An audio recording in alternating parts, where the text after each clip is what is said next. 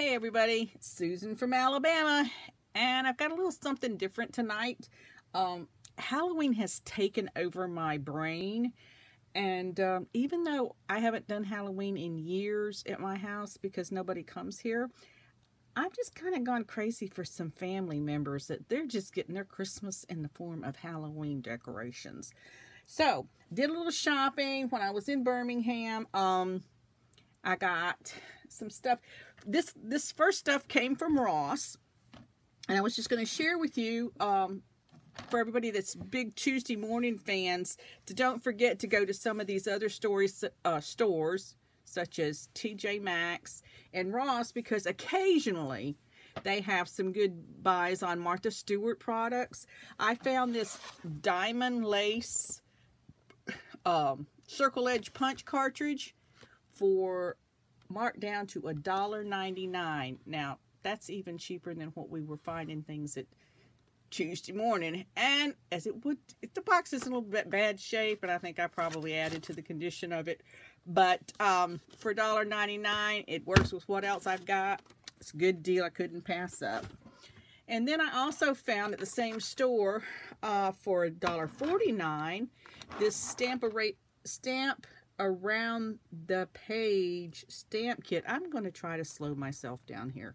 Uh, by Martha Stewart. It's one that I didn't have. I've got two other ones in my collection, and I stood there and looked at this one and said, is that one of them I have? And I said, well, for $1.49, if it is, I'll just add it to a, a giveaway. But it's not something I already had, so I'll be adding that to my collection. And then I picked up a tablecloth for my daughter that has three children. Um, they're kind of rough on the table and do lots of spillings and stuff. So I got her a vinyl tablecloth for Halloween. And I just thought it was cute and something that they would enjoy, you know, without getting in trouble for buying them more toys. And then I picked up some Halloween um, dishcloths that I thought were cute. I'm going to probably cut these in half and then crochet uh, tops on them so that they can be hung from the uh, stove handle or whatever. My family seems to like a lot of those and it doesn't take me long to do it. Once I get going, it's just getting going that causes me, and I just couldn't resist the little guy. He's uh, cute as could be. These were packaged two and two in a pack for $4.99. That's not a bad price. Um, they are a whole lot better quality than what you're going to get at the Dollar Tree or Dollar General. I went that route and I've got a whole bunch of them that I'll never use. Uh, a whole lot of work for crocheting on the top of them and make, put the little button on it and the handle and stuff for it to just kind of wear out so quickly. So I've decided I'm not buying those cheap ones anymore. I'll get the little bit more expensive ones and get a little bit better wear out of it. But these owls and the fox and stuff are just as cute as can be. Uh, I have a small collection of owl bowls and stuff that I've started and I just couldn't resist this one. I'm going to have this one for myself. And then after shopping at Dollar Tree for way too many trips, uh, I've run into a problem. I started making a wreath the other night and in my design I came up about 32 inches short of the of a ribbon that I was putting on it and I I can tell that it's missing. So I went to Dollar Tree yesterday looking for some of that ribbon. It's some that had come in that wasn't on the earlier trucks. So I hoped that, and I just bought it on Monday, so I thought some of the other stores would have it, but I didn't find it. But I found a whole lot of other stuff that I'll sh share with you in another video. And I'm going to try to just share things that I hadn't seen anybody else have, or, you know, I think a lot of us make duplicates, and I know we don't all watch the same channels and everything, and I appreciate everybody that tunes me in. I have hit 100 subscribers, so I will be working on a giveaway uh, I have the merchandise here. I just got to get it put together and get a video made. And I made out little index cards with everybody's name that was listed in my subscribers list. But there's not a hundred names on there. So if your profile, if you've subscribed to me and your profile is not available um, for public viewing or something, please leave me a comment down below of this video and I will make sure that your name is entered into the contest. And it's a giveaway. It's going to be for the United States only, uh, over 18, all the good rules that apply to everybody else's giveaways. Um,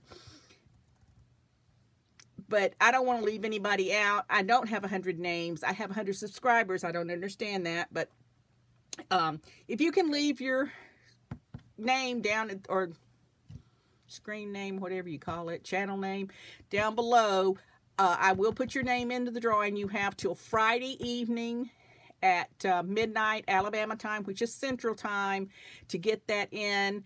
Um, and then I'll be having the drawing and, and notifying the winner.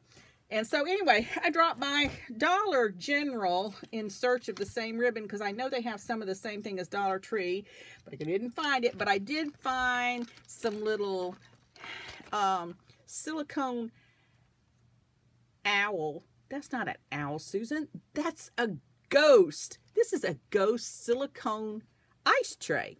But what I use the silicone ice trays for is for uh, soap making. And so I thought these would be cute to make with melt and pour and stick in the top of some soap when I get those made for, and I've got to get that on that too for the Halloween season. And then they had some jack-o'-lanterns also. Those were only a dollar a piece. Can't beat that, can you? Not even at the Dollar Tree. And then they had these little tinsel, mini tinsel decors. This is a little hat. Looks very similar to a hat I got at Dollar Tree. And this is a little cat. I got one that's bigger than this at the Dollar Tree. Same goes for the, let's see this, jack-o'-lantern, the cat, the tree, and best of all, the gravestone marker. Anyway, I thought the four of them would look cute on a wreath because I'm doing deco mesh wreaths. And uh, Dollar Tree has no deco mesh except for Christmas. Yes, people. Christmas has hit the Dollar Tree. One store had their florals out. Another store had their deco mesh and some of the other items out. Uh, some lights.